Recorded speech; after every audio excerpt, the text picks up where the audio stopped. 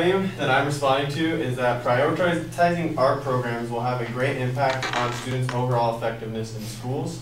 And the secondary claims for this argument are that art programs have a positive effect on students' mental health, that schools do not equally fund uh, sports and arts, and funding the arts programs the same as sports would help nurture students. So going to the first claim that uh, arts programs have a positive effect on students' mental health, the advocate argues that um, that uh, drama therapy sessions and things like that could uh, help students who have ailments like uh, eating disorders or trauma or illnesses and stuff like that. But this, this does not support the idea that the arts will help with mental health. Rather, it says that the drama therapy can just help these specific students. And while drama therapy may be a beneficial thing to these students, a painting or photography or music class or something like that isn't exactly a drama therapy class that would be like prescribed as a doc by a doctor to a student with these ailments.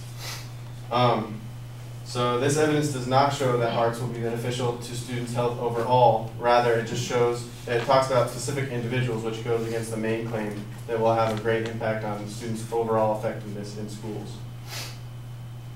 Also, uh, if you look at that uh, claim just in general, that arts, art programs have a positive effect on students' mental health, if you just look at that in general, not looking at the drama therapy example, um, you can argue that there's a lot of things that could be beneficial to students' mental health, such as playing video games or doing yoga or something like that. But so why should art have any more priority over things like that?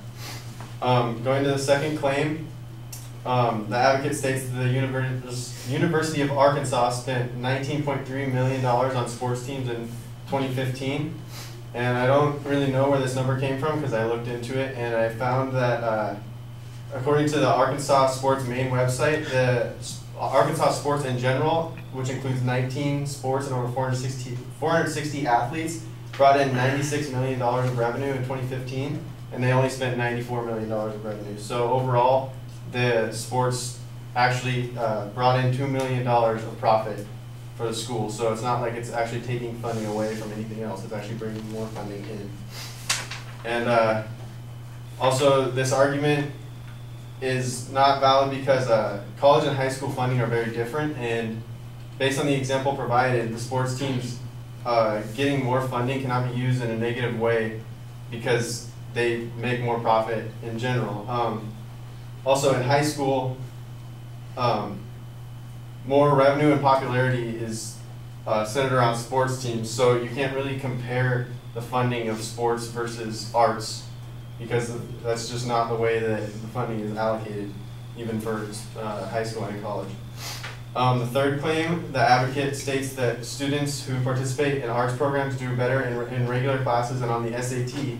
And while there may be evidence for that, uh, giving more funding to art programs uh, won't really change the the fact that um, students are choosing to sign up for art programs. So it's their it's their choice. So there's a according to the National Center for Educational Statistics, um, in 1999, 94% of public high schools had a music program, and 87 had some sort of visual art program. And by 2010, 94% of school high schools still had a music program, and 83, so down 4% from 1999, had some sort of visual arts program, which shows that the vast majority of schools do have some sort of access to art or music programs, and yet the students just aren't choosing to take it. So more funding to these programs doesn't necessarily mean that students are going to sign up more often, which again goes against the main claim that more funding will create an overall uh, better effect on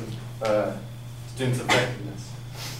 So in conclusion, while funding for the arts may be beneficial to certain individuals who are interested in art, um, it will not make students overall any more effective in school.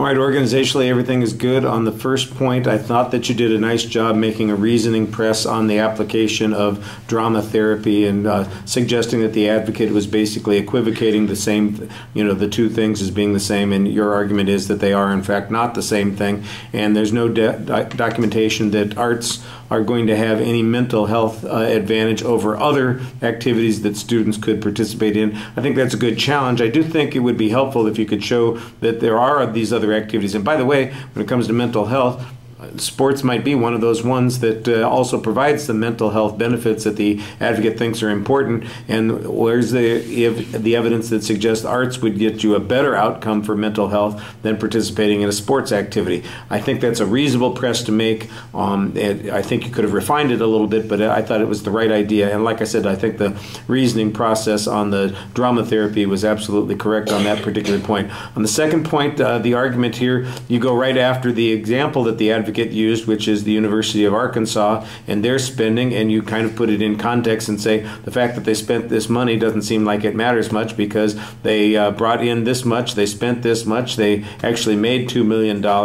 How that substitutes or takes away from any other program is not demonstrated, and you make an argument that says colleges and high schools are different. I think that's a reasonable argument. The funding of these programs, though, is the thing that needs to be explained, and there's not really much explanation of how that process works. And so the uh, advocate seems to assume that there's some sort of trade off, and your argument is that that's not necessarily the case uh, you know, let's keep it simple and straightforward and show that it's not the case. I think the closest you get to doing that is in the third point, where you have some good information that says, look, uh, in the 20 years, or the actually, I guess it's almost 30 years since this survey was done, 94% of schools have had uh, music programs before, and 94% still have music programs. 87% had visual arts programs, 83% now have visual arts programs, so there's been a decline, but has there been any documentation that that small decline which is in fact a small decline, has resulted in any harmful consequence, I think that would be maybe a way to present that argument. I thought the summary was pretty reasonable.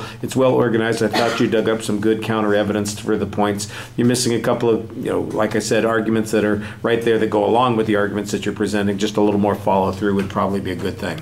All right.